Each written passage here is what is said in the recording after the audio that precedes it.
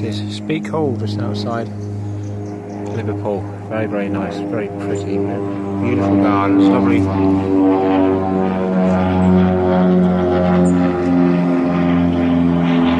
Lovely hall, lovely house. Very, very old. But uh, there's pan around the gardens. Lovely moat.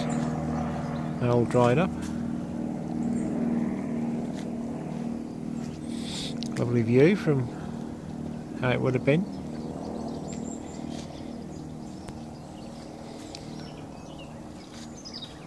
More moat, then back to the house. Imagine living here all those years ago. Are we?